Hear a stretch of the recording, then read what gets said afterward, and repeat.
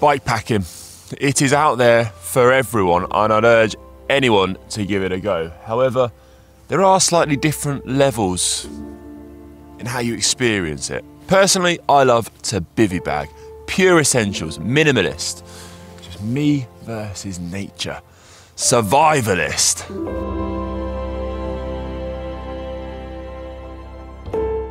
And I like camping. I like bringing my home away with me, taking a tent and uh, cooking utensils and a nice mattress, maybe even a duvet. You've got all you need in your tent. Now that's the way to do a weekend.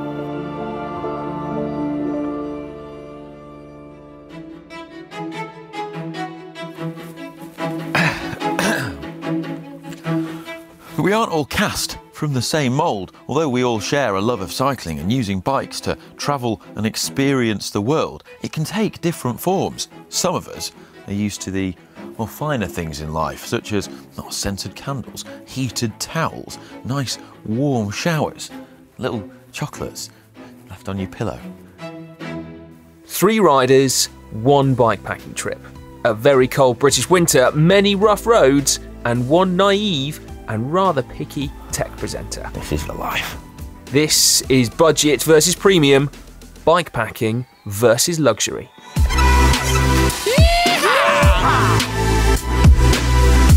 I'm not letting Hank beat me with a full wardrobe on his bike. Oh my goodness. You're leaking!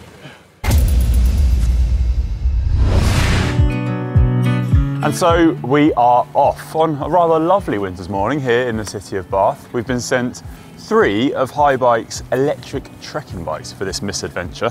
This is the Haibike Trekking 10.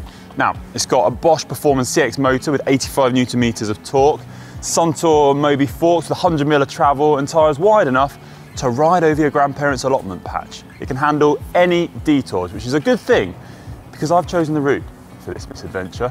So uh, you're going to be relying on these bikes a good bit.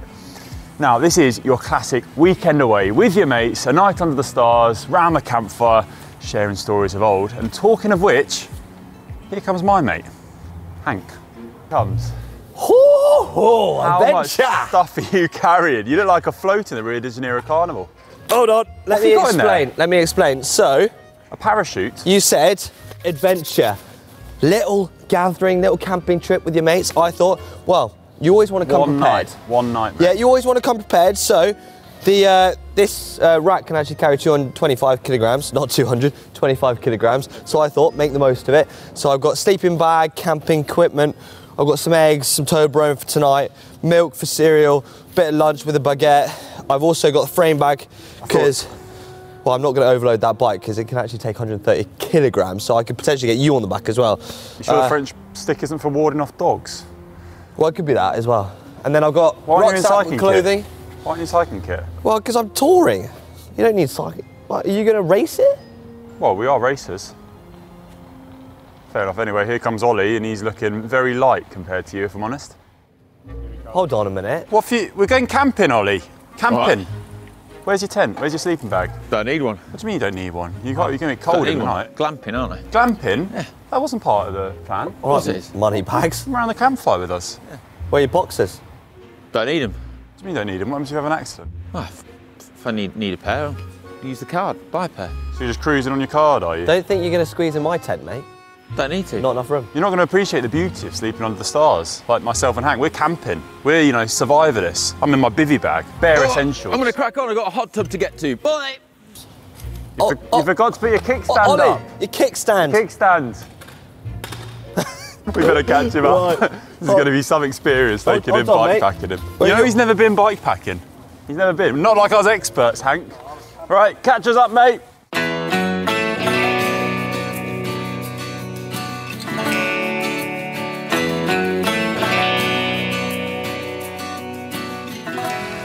And so we're off on a bike packing adventure. You ready, boys? I'm ready! Three different ways to bike pack. It's an accessible thing for anyone to try. We're gonna show you the different ways you can do it yourself. So which one would you prefer? Let's find out.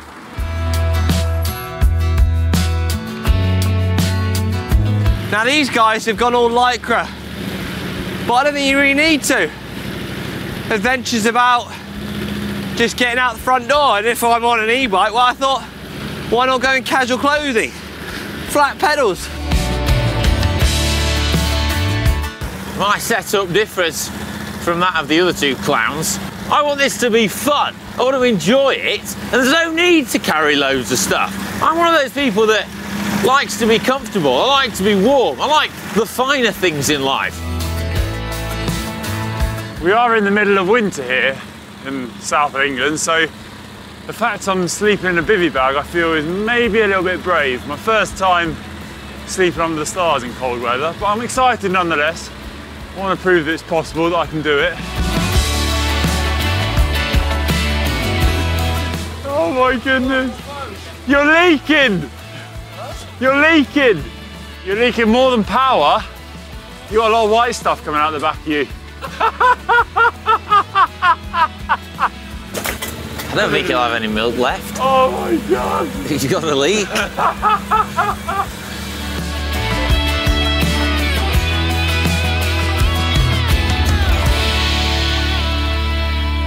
Stop! Stop! Stop! We're having a race here. What do you mean? Race oh. time. It's not all. You're not getting it easy the whole way there. Head to head. What do you reckon?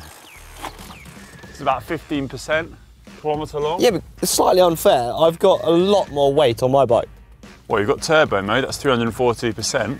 Right. Power boost. I mean, I'm going to go in turbo mode as well. What are you going in, Ollie? Turbo. 85 newton meters of torque. Hey, Ollie doesn't need turbo. He's got nothing to him. He, that's true, actually. He never, he never eats, does he? He's like a, he's like a Alberto. Whoa! Getting frisky. Shall, we- shall I start us? Three, two, one. God, my ah, start! I've got a lot of weight on this bike. Ah!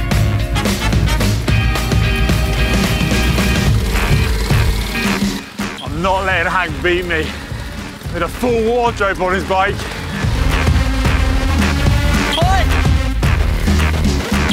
That's what you get for carrying a wardrobe on your bike, you idiot.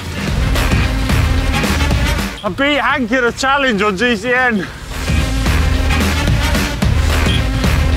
Savouring the moment.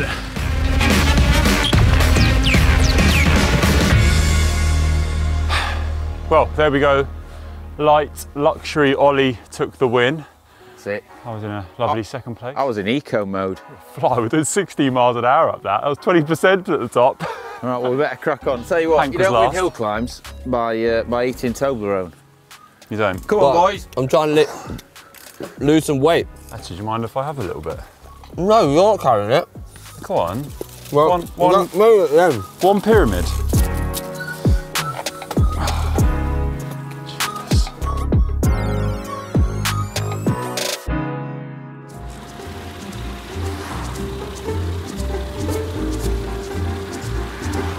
I can't break. Oh, there we go. Lovely. Oi! How'd you get that? I got long arms. Long arms and a hungry stomach.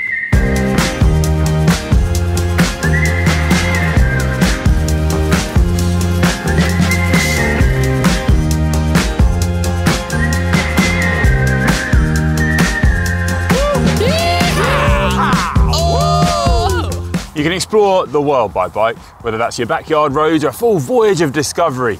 Hit the road, sell all your possessions, hand your notice in at work, live on a diet of rice and beans, and do an around the world trip. And if you are going around the world or exploring your local roads, you're probably going to encounter some rough trails, some muddy routes from time to time, and that's what I'm bringing the guys down next. A particularly dirty stretch of trail. And tell you what, I'm looking forward to this because the Haibike is going to be in its element. Those wider tyres, front suspension, bomb-proof aluminium frame, it's even integrated lights because it's starting to get a bit dark and I'm going to want to see those potholes. Basically, you're going to be safe and secure no matter where you go. Hank, on the other hand, I'm not sure how Hank's going to cope with these ones, particularly with those eggs on the back.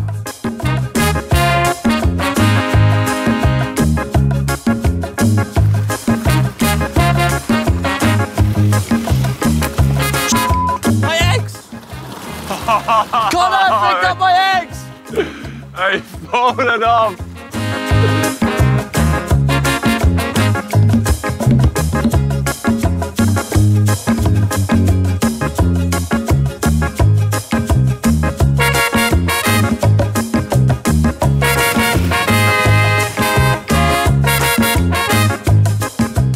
How you feeling about the night ahead then, mate? It's starting to kind of get a bit dark already. Do you know what? Can't wait.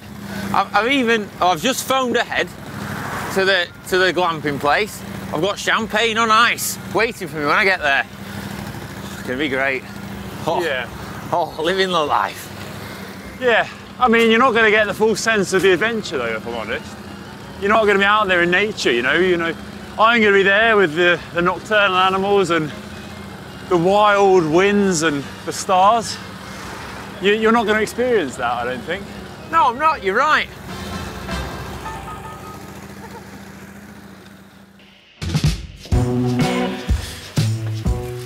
I think we've arrived. Is Oh, this yeah. your place, Ollie? This kind of. Oh, that's my pod.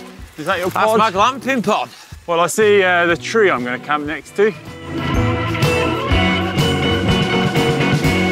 This is the, the glamping pod.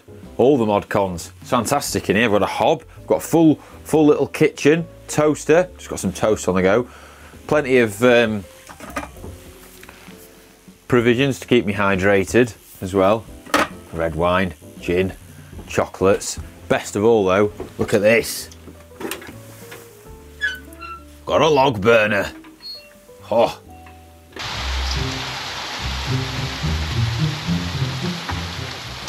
So it looks like, um, well, we pulled the short straw. The, the rain started to coming in. Luckily, I bought enough clothing, so I've got a big down jacket to wear. But, uh, I need to get changed into some normal clothes. well, you, on the other hand, look like you're going to freeze your nut bags off. I'm going to dance the tango here, getting my normal clothes on. Look at this guy. Got the fire raging and uh, got the cooking on the go as well. Got a, um, a cassoulet on the go and some, some red wine open. Check this out. Yes. Oh, it's great. I wonder how those two clowns are getting on outside.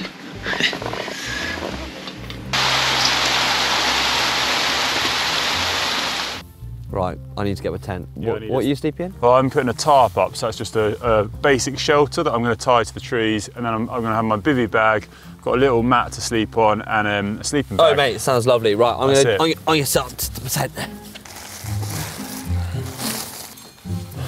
I'm here for the night, sheltered from the rain. What more do you need? Perfect. Lay the old mat out there.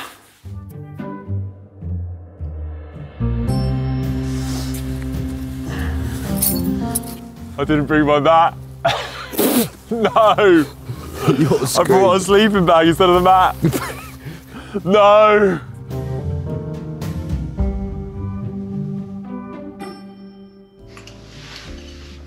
Cassoulet made, glass of red wine.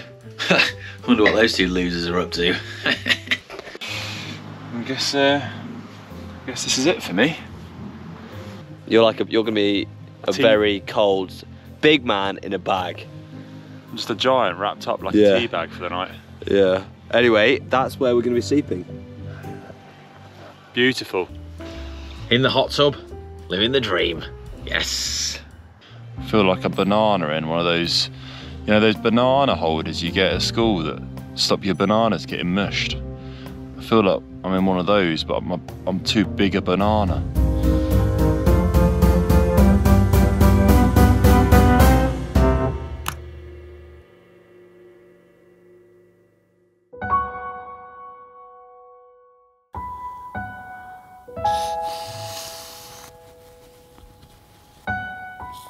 Oh, survived the night.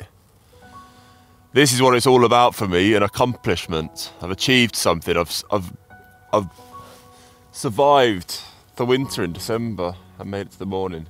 Um, I was very grateful for Hank's mattress because I forgot mine. I brought two sleeping bags instead of one sleeping bag and one mattress.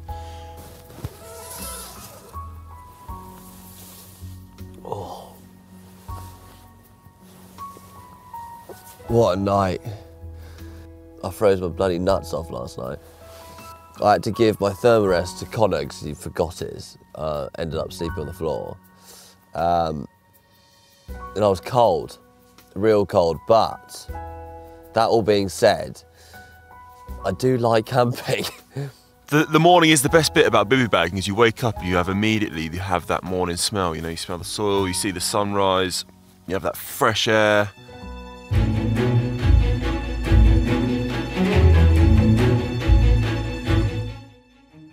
Oh, that was incredible. It was a great night's sleep. I mean, it's so toasty in here. I mean, if anything, I was too warm. It's, uh, yeah, very, very cosy in, in this little this little glamping pod. Nice. Right, I'm gonna make a brew. Have some, um, I think I have some eggs on toast as well. Oh, right.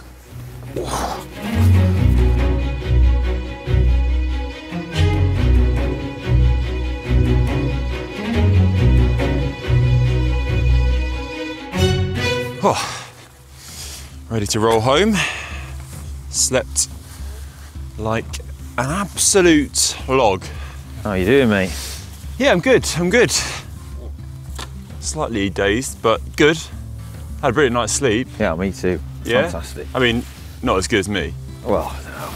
Probably, it's probably the best night's sleep I've ever had in my life. You Don't you can't knock it. ah, morning, team. Morning. How are we doing? Oh, great, yeah. Fan Dabby Dozy. God, you look good, don't you? Yeah. Not so good. No, I'm feeling good. I'm not, uh, yeah, physically, but mentally, I'm I'm feeling brilliant. Physically, I'm a bit sore. I'm not gonna lie. But I think it's time we kind of wrapped up this whole adventure because it was brilliant to share it all with you. And I think doing it on e-bikes just shows how accessible bike packing can be. We did it three different types of camping. So I was pure essential bivy bagging. You were in your tent. Ollie was cheating. Well, it's not cheating. It bike packing is about the journey, not the destination. What journey were you on? I went on a journey to a hot tub. It was great. He, ha- he has got a point though. He has got a point because when you go bike packing, I really just want you to try it, and uh, you don't feel like you have to rough it like I did. I think it's for anyone, and it doesn't matter how you sleep, how you go about it. Yeah, I was going to say there's so many different types in there. So you do the bivy bag. I did the more camping based with Bring a tent, everything you bring own. everything you own. And I've got to say though, an e-bike made that possible because I wouldn't normally carry such a big tent and clothing and a towel and everything in between if I wasn't on an e-bike and keeping up with you guys that were traveling lightweight. Yeah. And at the other end of the spectrum, you've got to say we're all experienced cyclists. But the beauty of an e-bike in this kind of application is that it opens up this kind of adventure to a whole host of other people that aren't as confident at cycling or aren't as strong or maybe haven't been doing it as long and they can still go out and have an adventure. Let's talk about battery Yeah. because people at home will be asking how did you charge your battery. So we did go to a pub last night and have some food. We took our battery with us, took the took the old charging cable, plugged it into the socket. Two hours, 50% charge. So about enough time to have a starter, main, and a dessert. Yeah, which is what we may have had. What did? Well, I could have charged it if I needed to in my glamping pod or my luxury hotel if I was staying in one, as I, that's what I often do the rest of the time. But the, uh, the, the fact is, I actually didn't need to charge it. I still had 60% battery at the end when we got here, and that's because I was travelling late, light. There was less weight on the bike, so it was using less power. So talking about kit, people are going to ask why I'm not in, in Lycra, but I think the bikes we're riding actually allowed you to ride in casual kit. I mean, you could have done this in whatever clothes suit your boots. Right, should we crack on home then? Yeah, I think it's time we get home. Let, first up, let's ask the viewers which one you'd have rather joined. Yeah. Myself, Hank, or Ollie. And Would- the hot tub. 10. Bivy bag. I mean, I was out. I, you know, I was talking to the Badgers last night. Don't ask the viewers to join you in that bivy bag, mate. I know what that smelled like. No, you probably wouldn't have wanted to join me in that. It would have been a bit, ah, bit tight, a bit close for comfort. Right, journey home. Race ya.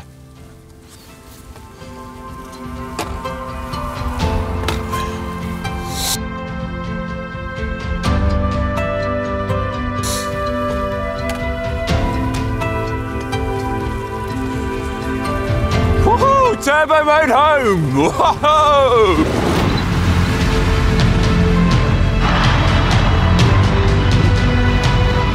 That's it. We survived the night, we're on our way home. The wind is in our sails, turbo mode's engaged, and we had an absolutely cracking time. Big thanks to Haibike for making it possible. And I really do hope we've inspired you to try bikepacking because it's such a rewarding experience. Doesn't matter if you stay in a boo bag, a tent, or a glamping pod, because when you're riding home like this, with the sun, blue skies, wind on your back, it makes you feel like you can conquer anything, so please, please give it a go. And I'm, I'm glad we let Ollie have the glamping pod this time.